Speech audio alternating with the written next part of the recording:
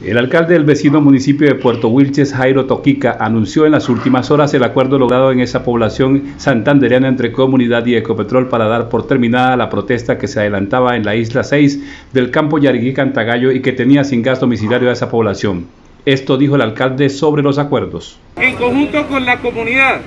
Ecopetrol, el Ministerio Público y la Fuerza Pública y Alcaldía Municipal representado eh, en mi nombre como alcalde,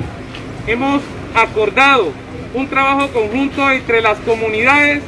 y entre Ecopetrol para restablecer el servicio de gas natural en nuestro municipio y poder así ir solucionando esta problemática social que lleva ya más de 15 días. Le agradezco mucho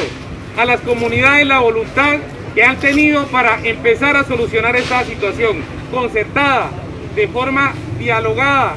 En la mesa hemos logrado esta, este beneficio para la comunidad y es la reactivación